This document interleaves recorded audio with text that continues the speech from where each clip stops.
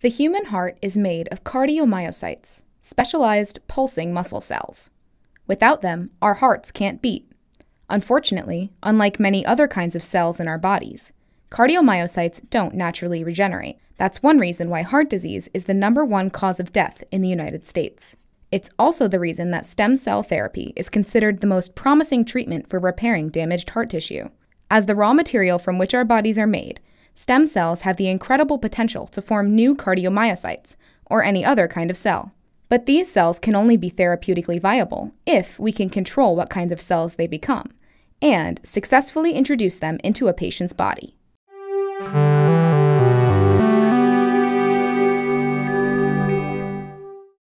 In total, for human body, we have about 200 different type of cells, and uh, now we can generate at least uh, 50% of these cells, so around like 100 different type of cells from stem cells. But many researchers are focusing on these cell types that cannot be regenerated naturally by our human body. Lance Lian is an associate professor of biomedical engineering at Penn State. The hottest areas are three different type of cells. They are neurons, cardiomyocytes, and the pancreatic beta cells. At its outset, Stem cell research was hugely controversial. When biologist James Thomson derived the first human stem cell line in 1998, he started with cells sampled from human embryos. In 2001, President George W. Bush banned funding of any new embryonic stem cell lines. But in 2006, Japanese researcher Shinya Yamanaka discovered that adult cells could be reprogrammed to become stem cells an advance that won him a share of the 2012 Nobel Prize in Medicine and removed the need for embryos.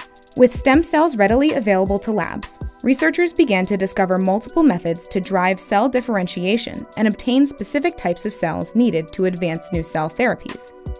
Once you have iPS cell lines, one of the property of these iPS cells is they can proliferate almost indefinitely.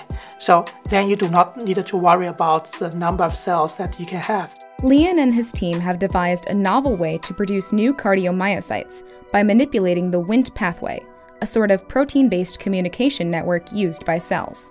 By timing specific activations and inhibitions of this pathway, the Lian lab has advanced the effectiveness of stem cell differentiation from the highly random 1% yield produced by older methods to yields as high as 90%. They've also reduced the time it takes to produce cells from a month to around 10 days, and they've reduced the cost of the process by 95%.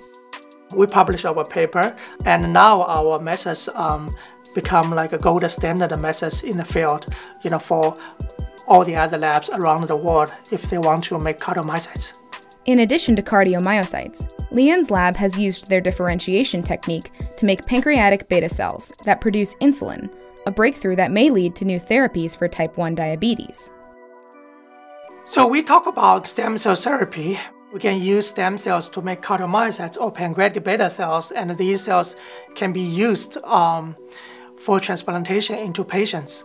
So, there is one more important barrier there that is immune rejection.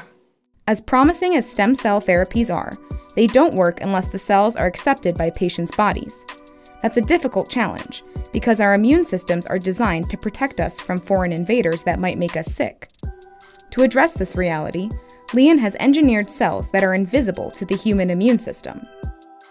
So with two steps of gene editing, we can achieve that our transplanted cells will not be recognized by both T cells and NK cells. So we generated the universal donor stem cells, and these cells can be transplanted into uh, many different patients for therapy.